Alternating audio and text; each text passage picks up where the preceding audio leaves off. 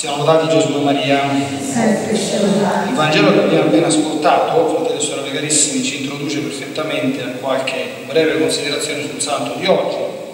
Oggi, il 26 maggio, è la memoria di San Filippo Neri, sacerdote, un grande sacerdote del XVI secolo, fondatore del, dell'oratorio, passato appunto alla storia come uno dei santi della gioia. Abbiamo sentito Gesù nel Vangelo parlare di, di pianto e di tristezza che si cambia in gioia. È evidente che lui fa riferimento all'imminenza della sua passione che avrebbe messo nel pianto e nella tristezza tutti i suoi discepoli e poi alla gioia che avrebbero avuto nel vederlo risorto, risurrezione che stiamo celebrando ormai da 40 giorni, gioia che non si sarebbe più potuta in nessun modo togliere dal cuore dei discepoli. E questo ci dice qualcosa della gioia cristiana che San Filippo Neri ha vissuto e di cui è stato eh, interprete. La gioia che deve caratterizzare, ne parla continuamente anche il Papa, la vita dei figli di Dio. Da dove viene la gioia cristiana? La gioia cristiana passa attraverso la croce, passa attraverso un primo momento di tristezza.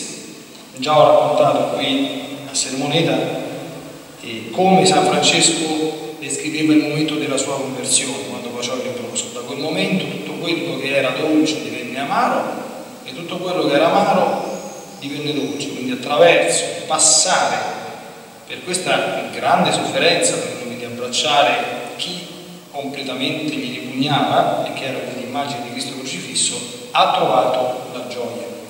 Sapete che dobbiamo fare molta attenzione perché nel mondo in cui viviamo tutti sembrano essere felici e contenti sembrano essere. Ma non si tratta della gioia che viene dal Signore, ecco, espressa magnificamente in un canto di Monsignor Fresina, che non dimenticherò mai, era il canto di ingresso che il coro ha fatto al mio ingresso qui. Penso che gli sarò grato a vita. La vera gioia nasce dall'amore, non consuma il cuore, eccetera. Il mondo scambia la gioia con il piacere e con il divertimento uno è gioioso, quanto più si dà a tutti i piaceri possibili e quanto più si diverte. Problema è che molti, sappiamo, eh, interpreti, eh, grandi uomini e donne del mondo, tutto sono meno che persone felici. E questo non si vede soltanto dal fatto che ogni tanto emerge qualche drammatico evento di cronaca, non ultimi purtroppo qualche suicidio eccellente di questi grandi personaggi o superstar del mondo dello spettacolo o della musica, ma anche dalla considerazione di quella che era la loro vita. Noi, figli di Dio, ci rallegriamo, come dice San Paolo, nel Signore. Quindi passando attraverso la tristezza. La tristezza viene dalla la tristezza secondo Dio, dice San Paolo, è quella che fondamentalmente fa compiere questi due atti religiosi. Numero uno, la presa di coscienza della nostra miseria e del fatto che i nostri peccati hanno veramente ucciso Gesù.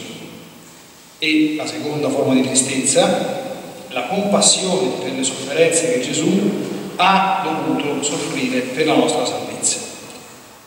Questo produce un profondo rinnovamento nel cuore e l'ingresso dell'autentica vita della grazia dentro di noi. E questo porta sempre tre cose, la gioia, la pace e l'amore. Voi sapete che San Filippo Neri Molte hanno tolte da Roma, l'ultima volta che sono stato non c'erano più, ma una volta erano esposte. San Filippo Neri aveva un tale, talmente grande amore verso, verso nostro Signore che gli prendeva realmente fuoco il cuore. Ma sapete che significa fuoco? Cioè c'erano custodite nelle sue stanze le camicie che portava sotto, che c'era un buco nero in mezzo grosso così. Io l'ho viste tanti anni fa. Quando morì San Filippo Neri, aveva le costole qui sotto, quelle cardiache inclinate, spostate, perché il cuore era talmente pieno d'amore che gli hanno fatto spostare le costole.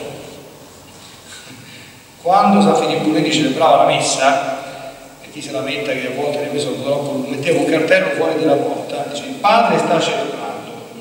Quando si chiudeva quella porta poi sta tranquillo che non sapria prima che passassero due ore, soprattutto per un particolare, perché quando lui faceva la comunione aveva il dono mistico da Dio che quando beveva il calice sentiva il sapore del sangue e quindi per fare la comunione al calice ci metteva almeno mezz'ora.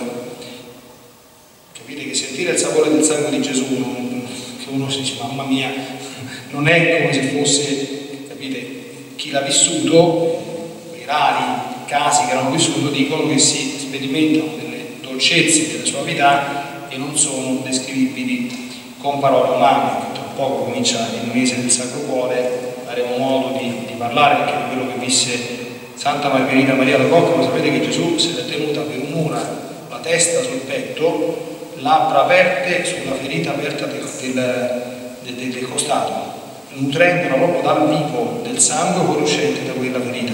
Questa è tutta una cosa insomma, che riguarda Santa Margherita Maria. Ecco, quindi l'amore verso Gesù, vera sintesi, cioè la vera gioia, in altre parole, nasce dall'accoglienza profonda dell'amore di Gesù, dal capire quello che ha fatto per noi e perché lo ha fatto, dall'accoglierlo e dal ricambiarlo. Quanto sono felice, tanto quanto amo Gesù e la Madonna. Quanto sono non nella gioia, tanto quanto non amo Gesù e Maria. Questo è il messaggio che ci lasciano questi grandi santi e questo è il messaggio che ci lascia anche la Pasqua di Gesù. Siamo lodati Gesù e Maria.